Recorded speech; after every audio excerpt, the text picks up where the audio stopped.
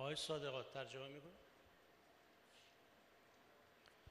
من اول به آقایان وزرای محترم عرض سلام عرض می‌کنم و کسانی که جدیداً به جلسه اضافه شدن اولا اسلم وارحب باصحاب السعاده الوزراء واولئك الذين التحقوا الى هذه الجلسه اخيرا همچنین دوست عزیزم آقای اعرجی و آقایان محترم.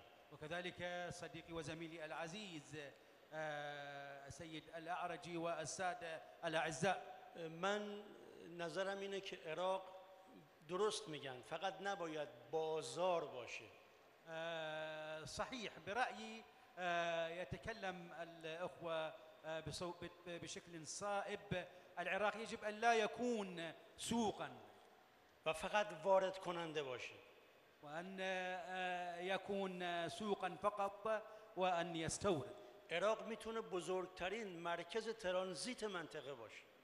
العراق آه، يمكن أن يكون أكبر آه، مركز لتجارة العبور أو الترانزيت في المنطقة. عراق میتونه یکی از بزرگترین مراکز گردشگری بین المللی يمكن للعراق أن آه، يتحول إلى أكبر آه، مواقع ومراكز السياحة في المنطقة. و عراق میتونه با سرمایه گذاری کشورهای همسایه و منطقه والعراق يمكن من خلال آه، آه، استثمار دول المنطقة وكذلك الدول الجارة به سرعت راه توسعه رو پیدا بکنه. أن آه، يجد طريق التنمية والتطور على وجه السرعة.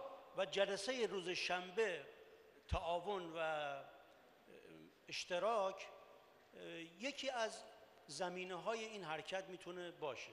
ومؤتمر يوم السبت يمكن ان يكون احدى مجالات وارضيه الوصول إلى هذه الغايه والهدف. به دلیل ژئوپلیتیک عراق وبفعل الموقع الجيو السياسي العراقي عراق میتونه مرکز حوارات و مذاکرات و نقش منطقه‌ای بزرگی رو انجام ويمكن ان يكون موقع للحوارات وكذلك دورا للمباحثات والمفاوضات و جمهوری اسلامی ایران آمادگی همه نوع همکاری رو با کشور دوست و برادر خودش عراق دارد.